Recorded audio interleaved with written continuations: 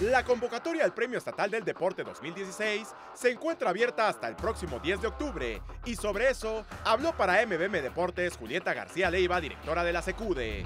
Pero obviamente pues depende del interés de, de cada uno de ellos, del interés de sus presidentes de asociación, porque recuerda que tú no puedes llegar de manera eh, personal o solo a traer tu documentación, sino tienes que tener una carta por medio de la cual tu presidente de asociación o bien ahora en la modalidad de medios de comunicación que pueden este, convocar o pueden lanzar como, como eh, prospecto a participar en este evento, pero deben de venir respaldados por ellos. Ojalá este, que con la difusión que ustedes nos apoyen a hacer, pues tengamos muchos, muchos deportistas, muchos entrenadores y, por qué no, personal de, de fomento al deporte que pueda participar en este evento.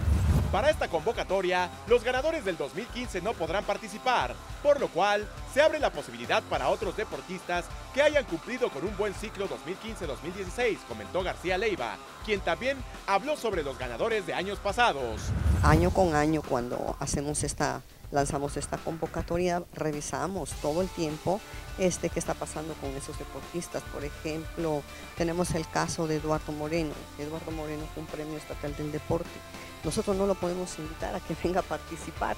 Sabemos que, está, que ha estado concentrado en España, que está concentrado ahorita en la Ciudad de México como seleccionado nacional. Entonces, así tenemos el caso de muchos deportistas que no es que no los querramos invitar, sabemos que tienen otra actividad deportiva en este momento o simplemente ya no forman parte, ya no están activos en el deporte.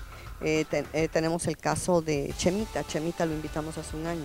Es un gran esfuerzo para venir él, dejó su entrenamiento en la Ciudad de México este, para poder estar con nosotros. Por último, la directora de la Comisión Estatal de Cultura Física y Deporte extendió la invitación para todos los interesados. Esperemos que en próximos días podamos ya contar con esta información y pues yo les deseo a, todos ellos la mejor de las suertes y también eh, reitero la invitación para que se inscriban a partir del día de hoy. Hemos comentado con algunos deportistas que ya deberían de tener preparada su documentación, que no esperen hasta el último momento, ahora nada más es cuestión de ajustar ese año que es el que se considera la documentación. Con imágenes de Omar Pérez, informó para MMM Deportes Pablo Vázquez.